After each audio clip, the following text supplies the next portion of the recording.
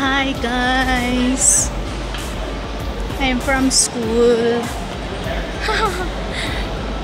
Pauwi na pero dadaan ako sa ano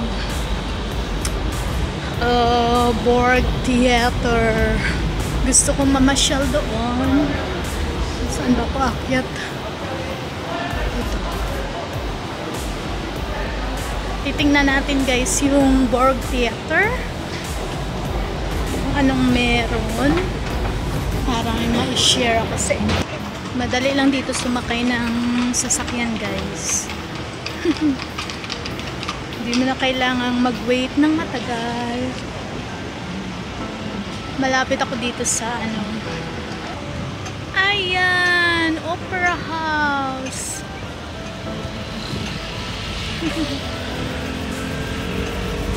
Maganda sana pumasok dyan guys. Manood ng concert kaso ang mamahal ng ticket. Hindi ko kaya. Magsayang ng pera. Ay, ito na! Naiwan na ako!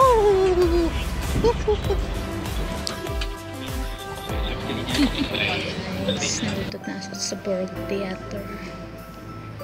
Naghihintay ako ng aking tour guide. Kaya mag-ikot after 30 minutes pa. Mag-ikot-ikot muna ako dito. 30 minutes. Ayan, ito yung gate niya. Paakyat. Ito ay ah, nag-iisang German theater dito. Na German. Ayan. Ang ganda dito. Ayan, ilang gates. May mga gates. Tapos, ayan din sa kabila. Mhm. Mukhang interesante.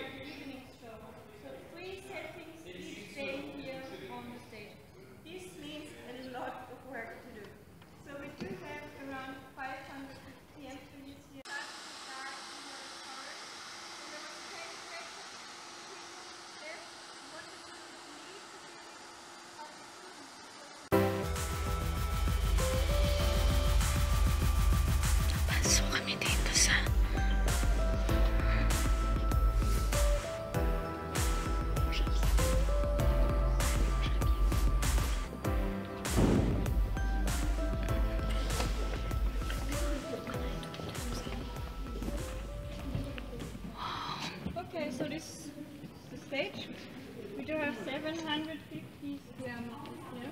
The stage would be 25 meters deep and 30 meters broad. Most of the space is taken by this rotating cylindric stage system. So if the stage turns here, there's a whole cylinder turning down to 15 meters. And this cylinder here has a weight of 320 tons. Because integrated in this cylinder, we don't do not see it because the floor for tonight is um is above, but integrated in this cylinder. Oh, I don't have it. Is, uh, there are four podiums. We seated just here. four podiums parallel next to each other, and then they can be lowered and elevated separately from one to each other, and the same time turning the stage.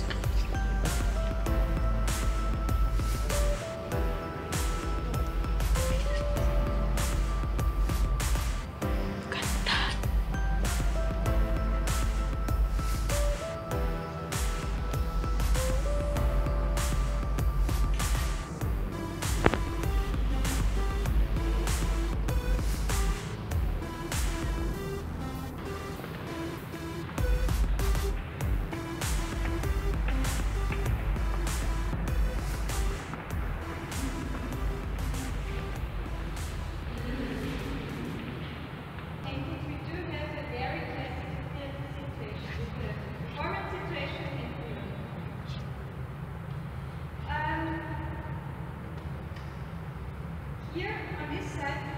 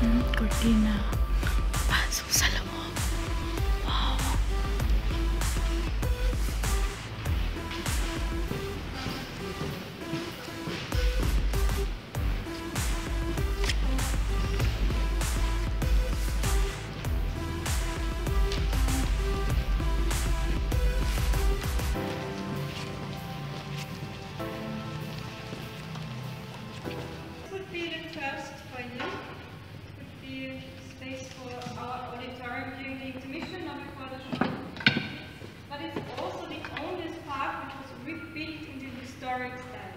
Because there was not the money there to make everything again in this historic style.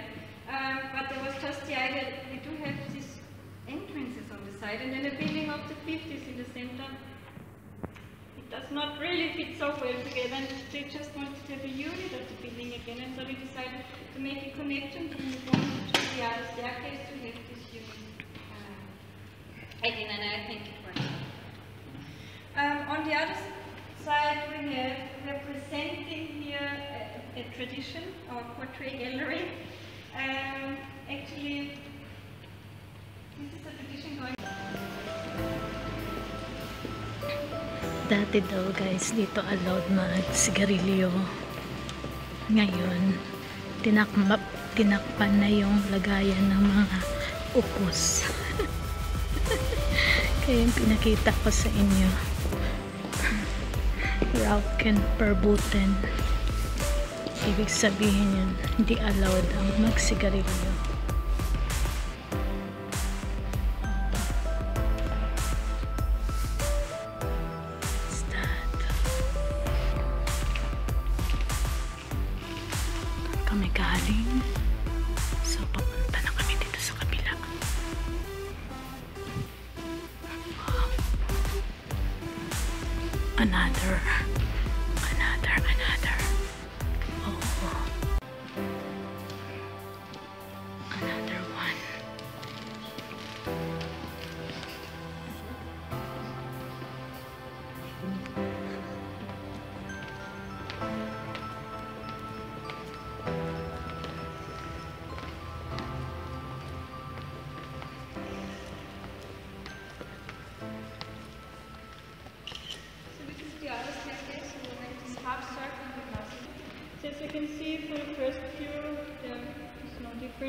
Other side. And just when we talk about uh, the paintings here. because I told you on the other side we have representing themes. Here we do have more themes um, closer to the peoples because it was the entrance of the art. The current station, but we can very easily say that the auditorium shown here should represent. So I just um, show you one painting here, direct finger point, showing here um, Hans Wood. ik zal het hier niet